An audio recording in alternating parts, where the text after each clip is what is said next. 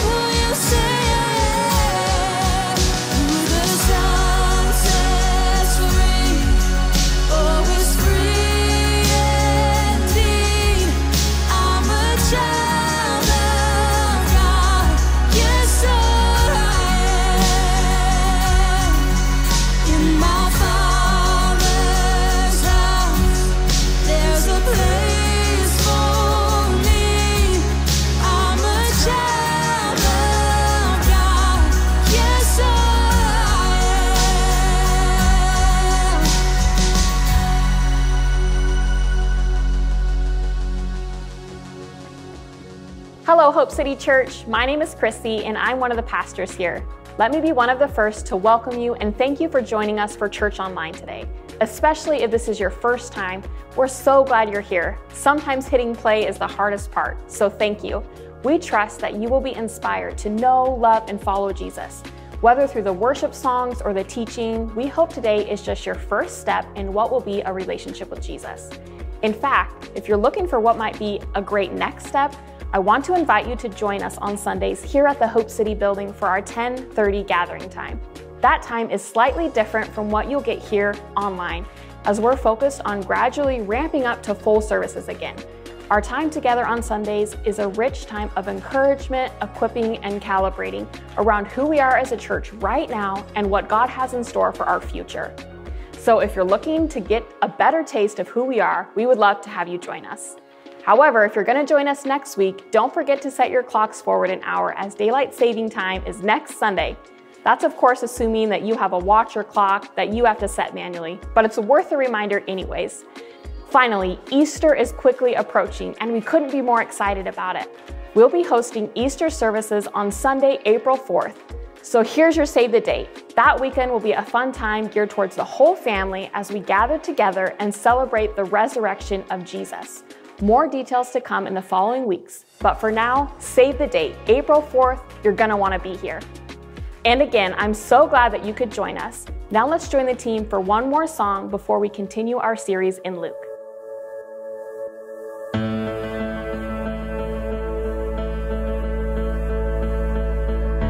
Let your kingdom come and your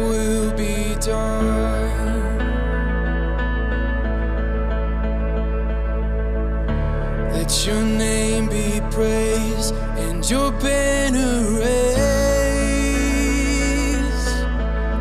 With every breath, this we pray.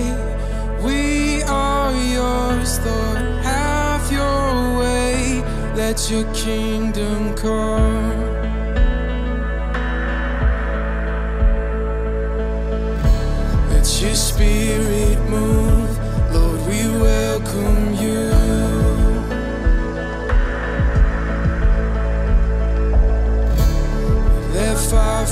Down on this holy ground.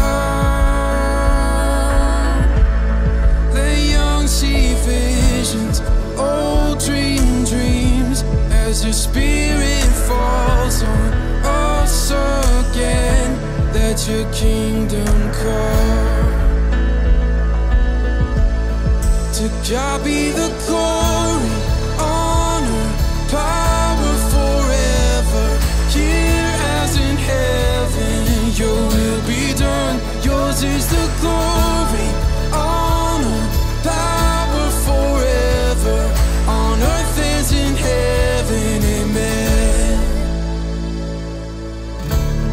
Your love speak hope and your word life.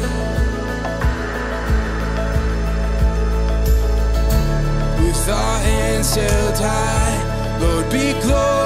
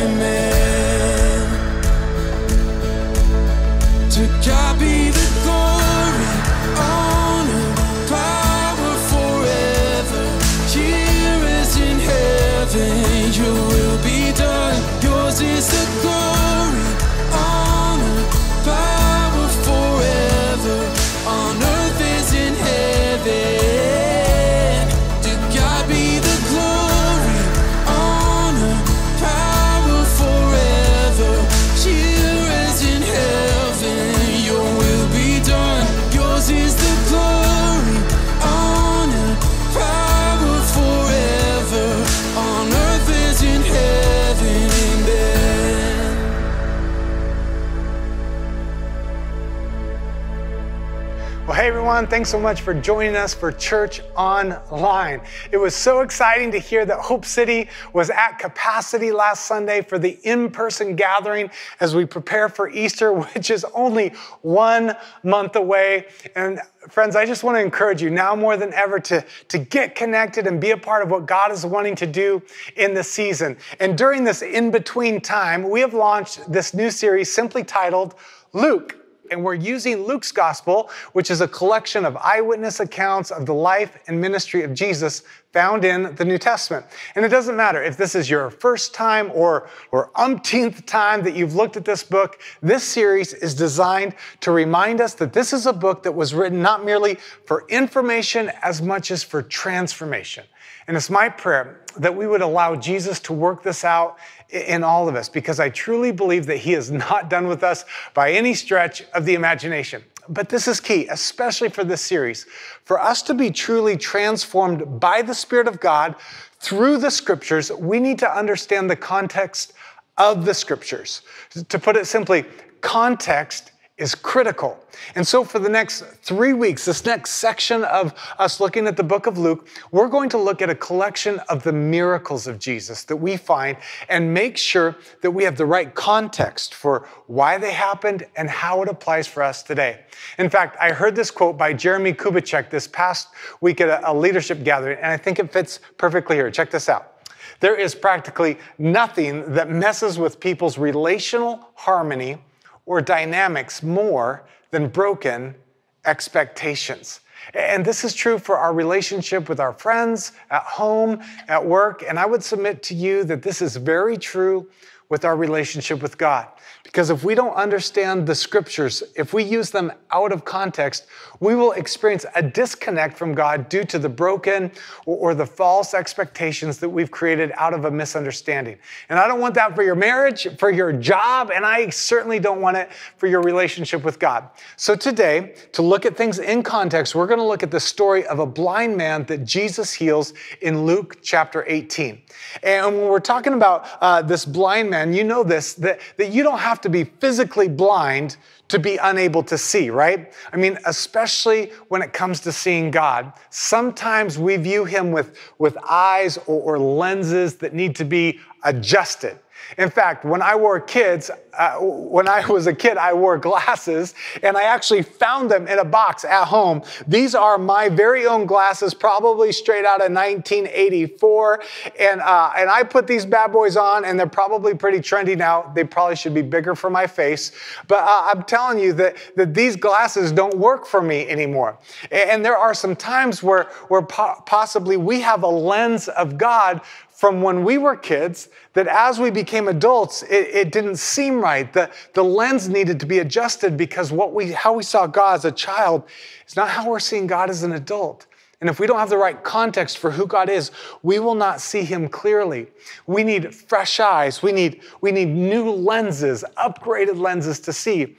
And then there are other kinds of lenses. There are these types. These are blue blocker lenses that Jen bought me because she's worried at how often I'm looking at screens. Check these out, pretty cool. And, and what these do is these block certain things, block the blue light so that you're able to see correctly and not damage your eyes. And that's pretty cool, but some of us, some of us have a lens when it comes to God where, where we allow certain things in but we keep other things out. And God wants us to be able to see Him not just partially, but fully. And others of us, we have a lens that, that has, has simply been shattered. You can't see God correctly because at some point something broke. And maybe you got a glimpse of God for a moment through some of the cracked lenses, but more than anything, you need God to heal. So let's look at the story of someone who was blind, but was also able to see God clearly, like I hope we all do. And it's found in Luke chapter 18. And I'm going to read the whole story and then we'll unpack it together. So let's begin in verse 35. And it says this. As he drew near, this is Jesus, as Jesus drew near to Jericho, a blind man was sitting by the roadside begging. And hearing a crowd going by, he inquired what this meant. Verse 37 And they told him, Jesus of Nazareth is passing by. And he cried out, Jesus, son of David, have mercy on me. And those who were in front rebuked him, telling him to be silent. But he cried out all the more, Son of David, have mercy on me. And Jesus stopped and commanded him to be brought to him. And when he came near, he asked him, What do you want me to do for you? And he said, Lord, let me recover my sight. In verse 42, it says, And Jesus said to him, Recover your sight, your faith has made you well. And it wraps up with verse 43 And immediately he recovered his sight and followed him, glorifying God. And all the people, when they saw it, gave praise to God. What an incredible story. A, a, blind man who is rejected by society somehow gets the attention of Jesus, and Jesus asks him what he wants, and he wants to see, and Jesus heals him. It's a great story. But remember, context is critical. And if we're not careful, we can read a story like this and think to ourselves, well, let's see. Jesus asked the guy what he wanted, and he got it. So I guess Jesus is wanting to ask me what I want so I can get it, right? I mean, he gave a blind man sight, so maybe he'll give me a job or a spouse or a house or a mouse. Okay, not a mouse, but I mean, come on, we do this all the time if we're honest. And when the life or, or the, the thing that, that we want doesn't happen, what does it do? It breaks up our expectations with Jesus that, that actually severs the very life he came to give us. Come on. How many of us know somebody or, uh, who's done this, or, or we have our own story? You know, God, I asked for a job and, and I didn't get it. I'm out. Or, or God, I asked for my mom to be healed and it didn't happen. Why? Uh, why is this happening? And what happens is we read a story like this in the Bible with poor context, and then we, we actually allow it to set us back from what God wants for us. So let's go back through the story verse by verse and unpack something so much better than just getting what we want from Jesus. And as we do, we're going to see the true meaning behind this story. So, Luke chapter 18, beginning in verse 35, here it is. As he, Jesus, drew near to Jericho, a blind man was sitting by the roadside begging. And hearing a crowd going by, he inquired what this meant. So Jesus has this huge following by now, and he is on this steadfast mission on his way to Jerusalem where he will be crucified. And to get to Jerusalem, he has to go through Jericho. Now, quick fun fact about Jericho Jericho was known as the city of roses, just like Portland. But the city, in this context, it's hopping. The, the crowd is following Jesus. And, and not only that, but in this context, there would be a massive pilgrimage of Jews also making their way to Jerusalem for the religious celebration of Passover. So, here in the midst of all of the commotion, we find a blind man, and he's trying to figure out what all the added commotion is about. And in verse 37, it says this And they told him, Jesus of Nazareth is passing by. And he cried out, Jesus, son of David, have mercy on me. N- notice the difference here Jesus of Nazareth versus Jesus, son of David. And this is incredibly important for the message today. The crowd was following Jesus of Nazareth, Jesus as a rabbi, as a teacher. He was Jesus from Nazareth.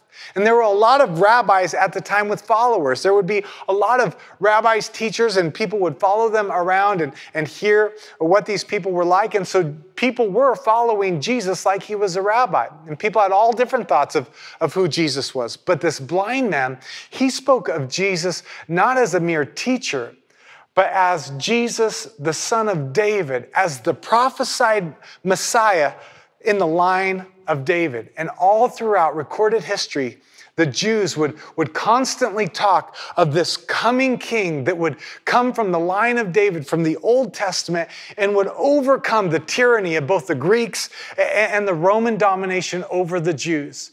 It was in their daily prayers, their, their sermons at the time were constantly referring that someday the son of David re- would return. And this man, with amazing blind sight, if you will, this lowly beggar came to the conclusion that Jesus was the Son of God. Despite his blindness, the eyes of his heart had been opened and he believed. And this, this was his moment to encounter his Savior. But remember, he's blind, he's begging. His chances seem slim. Look at verses 39. It says this, and those who were in front rebuked him, telling him to be silent. I mean, have you ever tried to get someone's attention in the midst of a crowd, shouting at them, trying to get their attention? Ever tried to make eye contact with someone when your voice couldn't be heard? I remember something like this in, uh, in 2014. Friends, 2014 was one of the best years in the history of the world. And do you know why? Do you know why it was one of the best years in the history of the world? Because that year, my dear friends, is the year that the Seattle Seahawks, my beloved since birth Seattle Seahawks, won the Super Bowl. I can remember it like it was yesterday. Now, if you don't like the Seahawks, I'm sorry, but just bear with me. You see, 2014 is the best year in the world because it's also the only year that the Seahawks have ever won the Super Bowl. But in 2014, the Seattle defense, aka the Legion of Boom, shuts down and dominates Peyton Manning and the Broncos. They had the number one offense in the history of the NFL, but my Seahawks dominated. And for the first time, my team brought the trophy home. And even though I wasn't at the game, I had this incredible opportunity to be at the victory parade. And you guys, one million people lined the streets of Seattle along the route in the freezing cold, certainly not social distancing to see the world champions. And I got to be here. There, here's a picture of that moment. Here's Eliana. She just wanted to go home. It was so cold, so excited. My extended family here, we were so excited. And it did not matter that I was a full grown adult. I was screaming and cheering like a kid, hoping that beast mode Marshawn Lynch would see me as he tossed the Skittles to the crowd. Like I said, I can remember it like it was yesterday. But the problem, the problem with me trying to get the attention of my Seattle Seahawks is that a million people were all doing the exact same thing. And as much as I wanted to make eye contact with, with Russell Wilson or, or Pete Carroll, I didn't have a chance. And in our story here in Luke, it's kind of the same thing. The city's going nuts. Everyone is out to check out who this Jesus of Nazareth guy is, but this, this blind man, he couldn't even make eye contact, much less get past the people who wouldn't let him get close. But I love his persistence. Look at how the verse continues. But he cried out all the more, Son of David, have mercy on me. He rejects the crowd control and shouts again and again, Jesus, Son of David. Not just Jesus of Nazareth, Jesus, Son of David, my Messiah, have mercy on me because he deeply understood two things that we deeply need to understand ourselves. He understood, number one, who Jesus was, and number two, he understood his own personal need. And over and over again, like, like a helpful, helpless infant, he would cry out. But, but much like this, this childlike persistence uh, was going on, it may have seemed childlike, but it, it's more mature than we may realize. See, the blind man, he had this extreme sense of urgency that revealed what should also be in our souls. If we take this scripture into context, this is the, the understanding, the, the modeling of a blind man that should be for us, because this is the meaning uh, of Jesus' words found a couple chapters earlier in Luke chapter 16, verse 16. Look at what Jesus says. Jesus says, The law and the prophets were until John. And since then, the good news of the kingdom of God is preached, and everyone forces his way into it. This sense of urgency of pressing in. In fact, in the Old Testament, the Lord instructed his people in Jeremiah chapter 29, 13, and it says this You will seek me and find me when you seek me with all your heart. Uh, put simply, breakthrough belongs to those who go for it. And this, this blind man was going for it.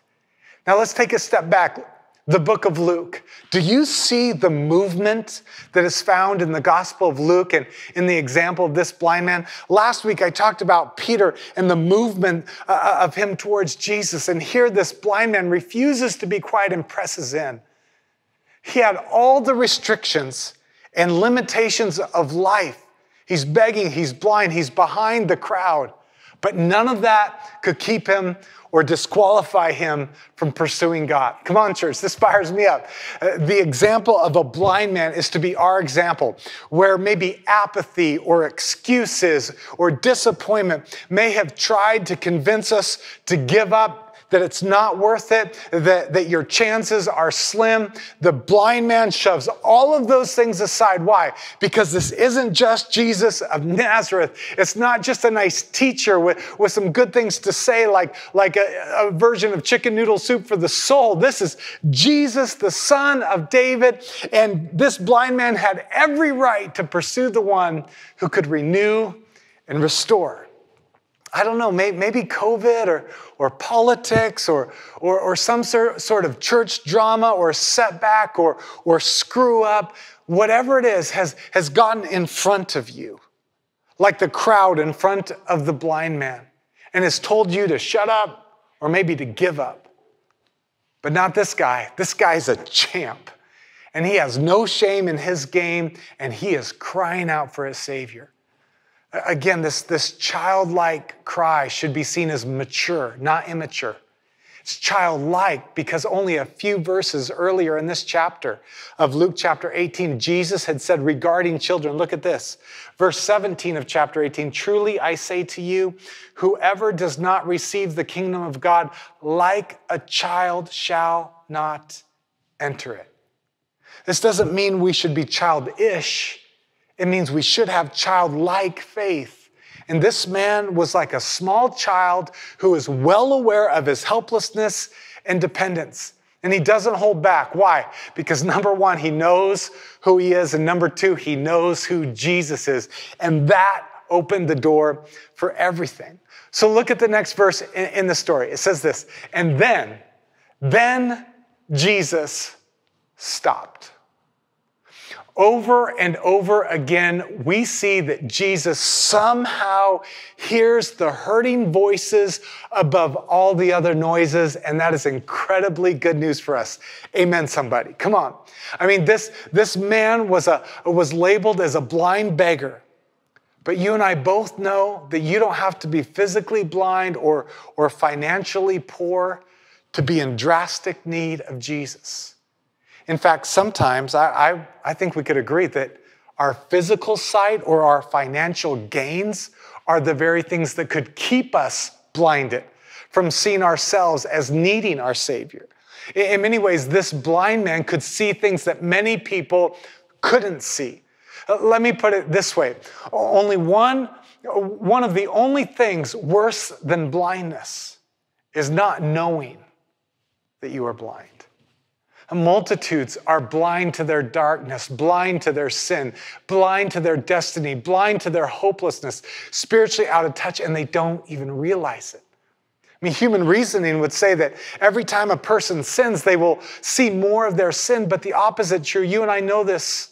Every time we sin, we make ourselves more blind, less capable of realizing what sin is, less likely of realizing that we are sinners in need of a Savior. But thank goodness that we don't have to stay in the dark. I mean, think about this. How incredible is it for us to be able to see reality, even when what we see is unpleasant or, or grotesque? Because when we see what we are, when we actually see, when we cannot escape the truth, when we are surrounded by darkness and we know it, then we can be able to ask for the light and scripture teaches us that the Holy Spirit opens the eyes of our heart.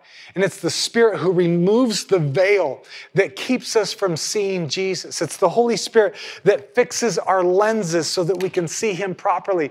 And it's my prayer that we would continually ask God to open the eyes of our hearts. Uh, someone once bluntly asked blind and deaf Helen Keller, Isn't it terrible to be blind? To which she responded, Better to be blind and see with your heart than to have two good eyes and see nothing. So it was with the blind man. Sometimes blindness has its benefits. He had a lot of time in his blindness to think without visual distractions, time to develop maybe this interior life and, and a contemplative spirit to see with his heart. And as much as we have hated the disruption of the pandemic, as much as many of us uh, hated losing power and Wi Fi for many of us over a week during the ice storms, there is something powerful that can be found in a forced detachment from the daily grind, an ability to, to do that inner inventory of our lives that, that we've been too busy to notice, a, a part of our lives that we have been blind to.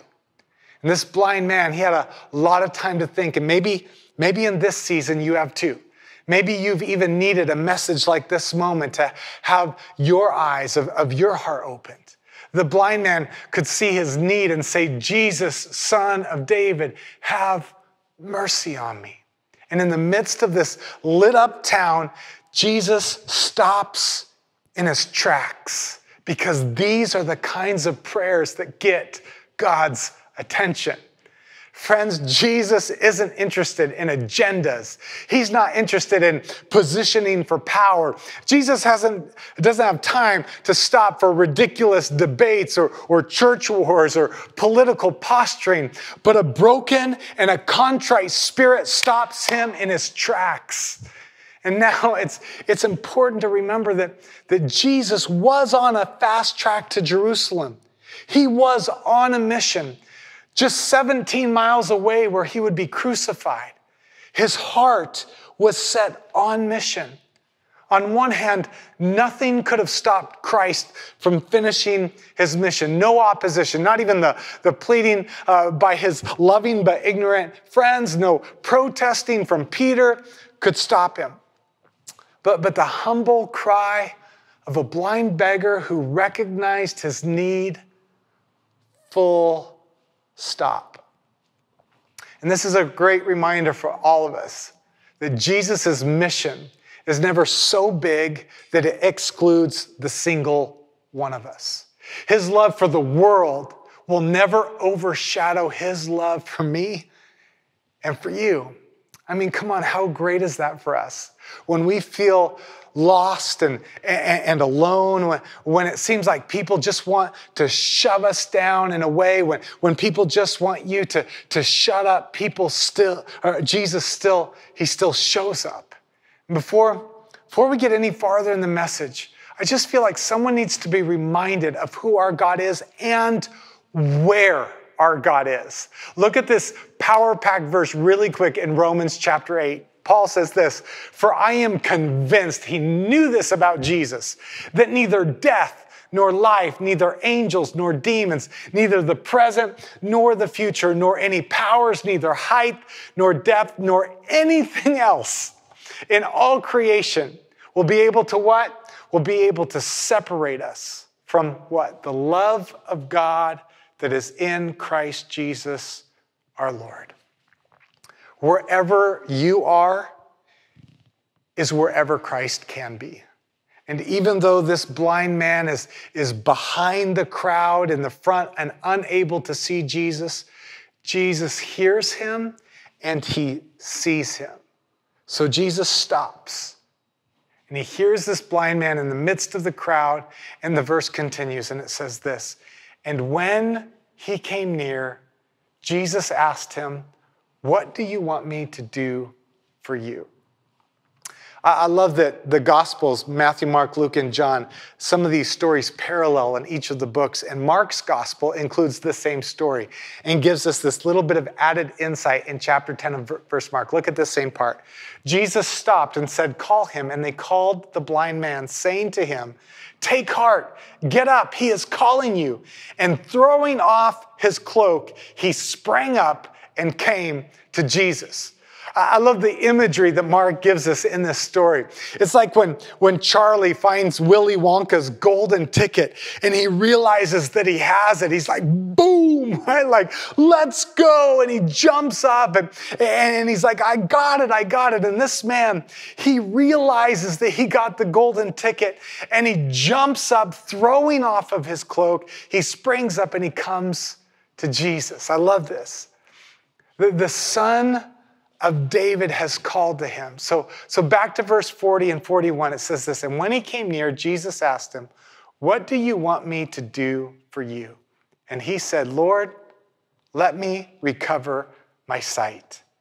And the story wraps up, and Jesus said to him, Recover your sight. Your faith has made you well. And immediately he recovered his sight and followed him, glorifying God and all the people, when they saw it, gave praise to God. Okay, so much insight here as the story comes to a close. But what did this man do In this story, we see this blind man calling to Jesus. We see him believing in Jesus. We see him coming to Jesus. We see him receiving from Jesus. And then we see him following Jesus. And he glorified God. And when all the people saw it, they gave praise to God. Friends, this isn't a story. The context of this story isn't about a man getting what he wanted. The application for us is not to go, well, Jesus asked him what he wanted, so Jesus needs to ask me what I want because I've got a list and Jesus needs to show up for me. No, the context of this story is of one man who wanted Jesus, was seen by Jesus, and was impacted by Jesus so that he could live and follow Jesus. I mean, just think about this. If, if we were blind, if you were blind and could all of a sudden see, what would you, what would you want to do? You'd probably want to see your family. You'd probably want to see the hills and, and the seas and all that nature has to show. And I'm sure, I'm sure that he would end up marveling all of those things. But Luke shows us that what this man desired more than all the other things was to see the man who had opened his eyes. He was all about Jesus. But how often have we wanted something from Jesus without any real desire to follow Jesus? If we don't understand the context, our sight, the lenses through which we view Jesus will result in broken expectations that will actually leave us farther from Him. I mean, when we truly encounter Jesus, we don't always get more of what we want, but we do become more of who we were created to be. That man was created to see Jesus and to be seen by Jesus, and the same is true for us. In fact, scholars tell us in Mark's gospel, uh, he's not just known as the blind beggar, he's known as blind Bartimaeus. And scholars tell us that Mark's gospel preserves this man's name because he went on to become a pillar in the Jerusalem church. This man would, would follow Jesus on to Jerusalem, where he would witness the triumphal entry on Palm Sunday and the horror of the, the crucifixion and the joy of the resurrection. This man was all about Jesus. And like blind Bartimaeus, we need to, number one, we need to see our need. Number two, we need to see who Jesus truly is. He is Jesus, the Son of David, not just a teacher or an advisor. He is the Son of God on mission to restore us and to invite us on mission to help restore the world to what it was created to be. And number three, like the blind man, we need to cry out, Jesus, Son of David, have mercy on me. He is the one who will make all things new. This past week, my nine year old Eva was really excited about uh, memorizing the scripture found in Psalm 121, verse 1. And we were driving around town, and she uh, begins quoting it in the back seat. And I think it's the perfect verse as we wrap up the message today. And it says this I lift my eyes to the mountains. Where does my help come from? My help comes from the Lord, the maker of heaven and earth. See, friends, the, the eyes were not this man's prize. His eyes merely allowed him to see where his help was truly coming from. And I wonder, I wonder if your lenses need to be adjusted. Like my childhood lenses that, that no longer work. I wonder if you're hungry for a new level of faith, a new ability to see Jesus, a new maturity to your faith that isn't just asking Jesus to be the genie in your bottle, but now you would say, I want to mature and see you, Jesus, as my Lord and Savior. Maybe you need to say yes to all of Jesus. It's the blocking lenses that, that you've uh, you picked up and you've been picking and choosing what you will believe and what you will do. And it's time to say, God, I want all of you in every part of the way. Or maybe Maybe there are the, the shattered lenses that you found yourself wearing. And you've been trying to follow Jesus in the brokenness, And by surrendering to Jesus, you can allow the healing to take place. But no matter who you are or, or what has happened to your vision, I want to invite you to keep calling out to God. And may we all have fresh resolve in this new season as a church to put our hope in Christ and Christ alone. Friends, I believe that God is working in us during the season of transition. I believe God is wanting us to see Him more clearly than ever, to put our hope in Him, to lean into Him, to, to persevere, to press through all of the noise, and to return to the mission that Jesus has invited us into removing that which has hindered you to follow Jesus or to be a part of what He's doing. May we say, God, I want to follow you now more than ever. Help me to see you clearly and in the right context. Would you pray with me? Father, thank you for who you are. Thank you for hearing us and seeing us, even when we may feel like, like the noise of this world is so loud, even when we feel like we're, we're behind the front lines, that, that perhaps you don't see us. Thank you for reminding us today that you see us, that you hear us, that you have a plan for us. And thank you for inviting all of us into what you have next. So, God, Jesus, Son of David, Messiah, King, Lord. Help us to see you as you are truly meant to be seen, and help us to follow you every step of the way. We ask this in Jesus' name. Amen. Well, everybody, I love you. I care about you. I believe that God is preparing us for what He has prepared for us, and I can't wait to see what He does next. See you next time.